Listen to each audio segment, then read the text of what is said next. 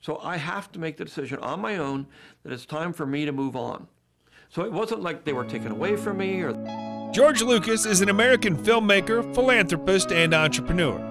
Lucas is one of history's most financially successful filmmakers and has been nominated for four Academy Awards. His films are among the 100 highest grossing movies at the North American box office, adjusted for ticket price inflation. Lucas is considered a significant figure of the 20th century New Hollywood movement. Lucas is best known for creating the Star Wars and Indiana Jones franchises and founding Lucasfilm, LucasArts, and Industrial Light and Magic. I've tried to make movies where I step away to sort of Empire and uh, Return of the Jedi. Right, right. And after about a couple weeks, I knew I couldn't do that. If you enjoy these videos, please remember to hit the like button, as it does help us out a lot. And comment below who your favorite celebrity is that you'd love to see in an upcoming video. His full name is George Walton Lucas Jr., but he's also known as Luke. He was born on May 14, 1944, in Modesto, California, making him 76 at the time of production. He stands 5 foot 6 or 1.68 meters tall. Lucas was born and raised in a Methodist family. The religious and mythical themes in Star Wars were inspired by Lucas's interest in the writings of mythologist Joseph Campbell. And he would eventually come to identify strongly with the Eastern religious philosophies he studied and incorporated into his films which were a major inspiration for The Force. Lucas has come to state that his religion is Buddhist Methodist. In 1969, Lucas married film editor Marcia Lou Griffin, who went on to win an Academy Award for her editing work on the original Star Wars film. They adopted a daughter, Amanda Lucas, in 1981 and divorced in 1983. Lucas subsequently adopted two more children as a single parent daughter Katie Lucas, born in 1988, and son Jet Lucas, born in 1993. His eldest three children all appeared in the three Star Wars prequels, as did Lucas himself. Following the divorce, Lucas was in a relationship with singer Linda Ronstadt in the 1980s. Lucas began dating Mellody Hobson, president of Ariel Investments and chair of DreamWorks Animation in 2006. Lucas and Hobson announced their engagement in January 2013 and married on June 22, 2013, at Lucas's Skywalker Ranch in Marin County, California. They have one daughter together, born via gestational carrier in August 2013. Fortunately, I'm old enough to have been through all this stuff before.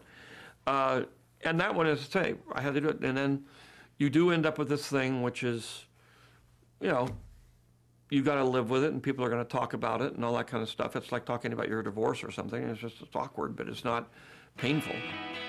Born and raised in Modesto, California, on May 14, 1944, George Lucas initially had his eye on a career in racing cars.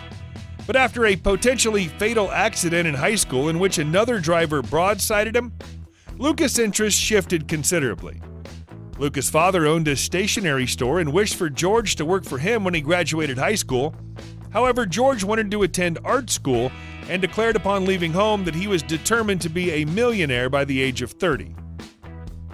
After graduating from the University of Southern California in 1967, Lucas co founded American Zoetrope with filmmaker Francis Ford Coppola.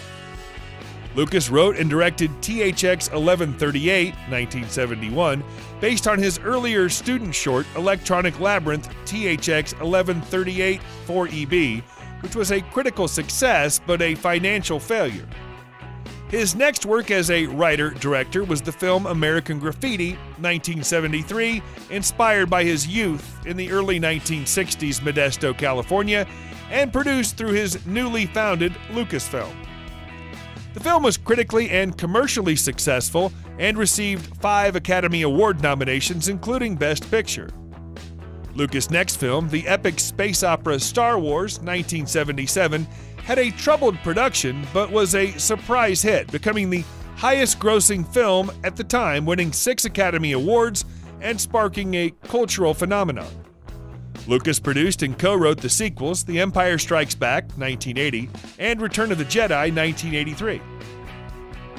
With director Steven Spielberg, he created, produced, and co wrote the Indiana Jones films Raiders of the Lost Ark, 1981, The Temple of Doom, 1984, The Last Crusade, 1989, and The Kingdom of the Crystal Skull, 2008. He also produced and wrote a variety of films and television series through Lucasfilm between the 1970s and the 2010s. In 1977, Lucas re released the Star Wars trilogy as part of a special edition featuring several alterations. Home media versions with further changes were released in 2004 and 2011. He returned to directing with a Star Wars prequel trilogy comprising Star Wars Episode 1 The Phantom Menace 1999, Star Wars Episode 2 Attack of the Clones 2002, and Star Wars Episode 3 Revenge of the Sith 2005. He last collaborated on the CGI animated television series Star Wars The Clone Wars 2008 to 2014 and 2020, the war film Red Tails 2012, and the CGI film Strange Magic 2015. Coming off the incredible success of American Graffiti, Lucas was entitled to a salary of $500,000 for his next movie. That was a significant raise over the $150,000 he earned from graffiti. Instead of accepting the 300% pay raise, George approached the Fox executives with a proposition.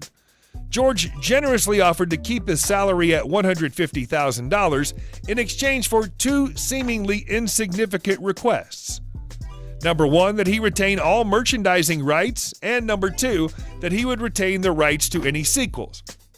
Fox executives were thrilled with the offer, thinking George's space movie wouldn't be much more than a blip on the entertainment radar. Obviously, this turned out to be a very bad deal for Fox, and arguably the greatest film contract in history for George.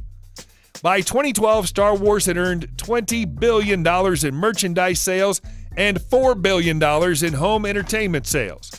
On October 30th, 2012, George Lucas announced that he signed a deal to sell his entire Lucasfilm company to Disney for a staggering $4.1 billion in cash and stock. Lucas owned 100% of the company, which means the entire 4 billion went into his pockets. His net worth more than doubled from 3.3 billion to 7.3 billion overnight. George Lucas' net worth is $6.5 billion. George's largest real estate asset is the nearly 5,000 acre Skywalker Ranch in Marin County, California.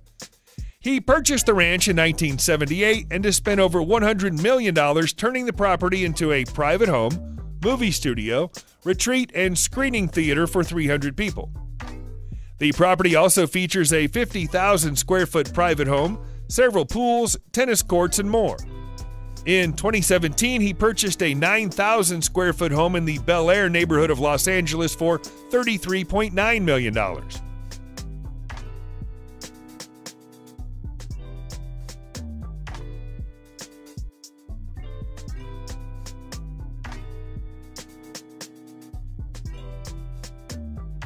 In 2010, he spent 19.5 million for a beachfront home in Carpinteria, California, just south of Santa Barbara. He tore down the existing home and built a much larger Cape Cod style house on the property.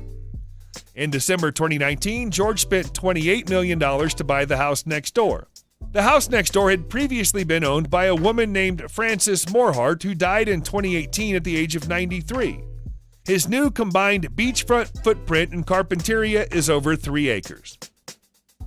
George Lucas cars include a Mosler MT 900S, a Fiat Bianchina,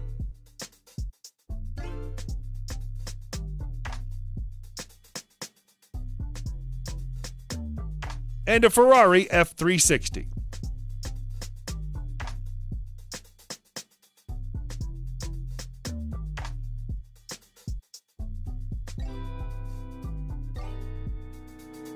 George Lucas has a Gulfstream G550 private jet.